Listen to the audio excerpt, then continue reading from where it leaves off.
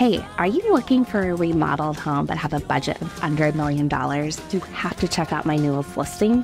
It's on a private cul-de-sac in Gardena. It's three bedrooms, two bathrooms, grassy backyard. I'm Melissa Pilon. Let's take a look.